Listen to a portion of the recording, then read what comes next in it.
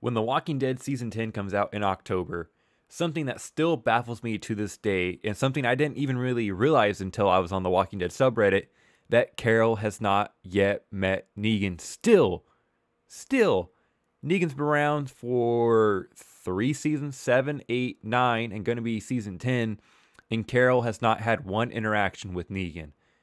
Now, is that not crazy or what? I mean, my gosh, one of the most powerful villains the show's ever seen and one of the most powerful heroes the show has ever seen has still yet to meet face to face, at least on screen. And I think this is going to be a pivotal part in season 10.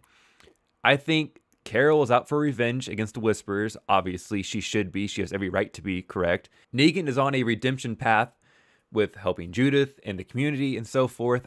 I think it'd be awesome if Carol just goes to Negan and she's just like, hey, I don't trust you. I don't like you, but I know you can get stuff done and I need you to come with me. But if you try something, I will kill you without hesitation.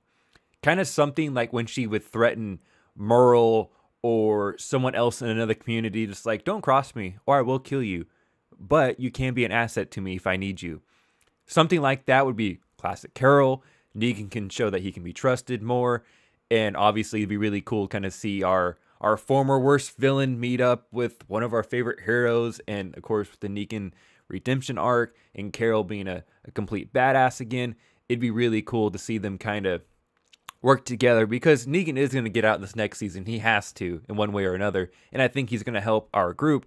And it'd be interesting to see kind of the Daryl Carol Negan dynamic because obviously Daryl is not going to like Negan. And then Carol, I don't think is really going to care. Obviously, she cares for Daryl, but if Negan can be an asset to them moving forward, she's going to use him up, and that's just going to be it is what it is. Carol is in it to win, and it's simple as that, in my opinion. And Carol will use people as she sees fit because obviously she's a survivor at this point, and she knows what needs to be done. She's been around the block a few times, and for someone like Negan, she doesn't care if he dies at all. But if he can help her take out the whispers, all the better. He's a better asset. And that's pretty much end of story. So let me know your thoughts down below in the comments. Are you surprised that there's been three seasons with Negan in it and Carol, and Carol has yet to meet Negan? I still find that very fascinating that one of our best villains in the show has still yet to meet one of our best heroes in the show.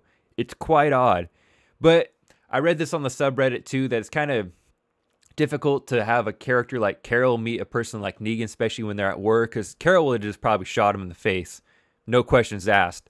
So it's probably best to keep those characters away at that point for storytelling because, like I said, Carol probably would have saw him and just shot him, and that just would have been that, and it just would have been, oh, okay, story is over, huh? So storytelling wise, I get why they did that, but it's still very interesting in my opinion. I cannot wait to see badass Carol go talk to Negan, and Negan, of course, make some smart ass remark and, you know, be Negan, and see Carol, Negan, and Daryl, and whoever else gets thrown in that mix go take on the Whispers. This can be really interesting. This can be a different dynamic, that is for sure, here in The Walking Dead Season 10. So, like I said, leave your thoughts down below. I want to thank you guys for watching, and I'll catch you guys in the next video.